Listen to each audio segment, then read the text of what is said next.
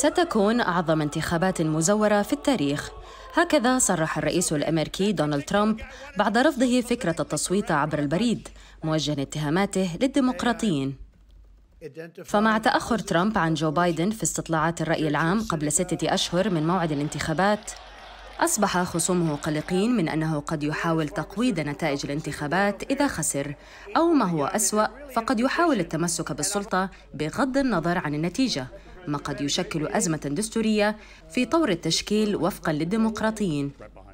وفيما أوضح محامي جو بايدن الشخصي بوب باور أن ترامب قد يلجأ إلى أي نوع من الحيلة أو الخدعة كي يمكنه من التمسك برئاسته. توقع محامي ترامب السابق مايكل كوهن في شهادة سابقة أمام الكونغرس أنه لن يكون هناك انتقال سلمي للسلطة إذا خسر ترامب.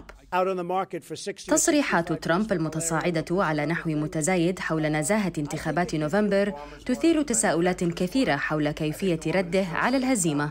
والطريقة ليست جديدة بالنسبة له. فيعود تاريخها حتى قبل دخوله في السياسة الانتخابية. ففي عام 2016 رفض خلال المناظرة الرئاسية أن يقول ما إذا كان سيقبل نتائج الانتخابات إذا خسر. وفي السنوات التي تلت ذلك رأى الديمقراطيون تلميحا في نكاته حول تمديد رئاسته إلى ما بعد الحد الدستوري الذي يبلغ ثمانية سنوات.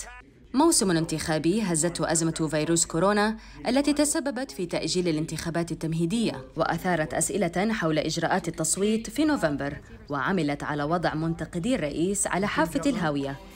إلا أن تهديداته الأخيرة لحجب التمويل من ميشيغان ونيفادا وجهت تحذيرات رغم أهمية مكانة ميشيغان التي فاز بها ترامب عام 2016 رشا خياط العربية.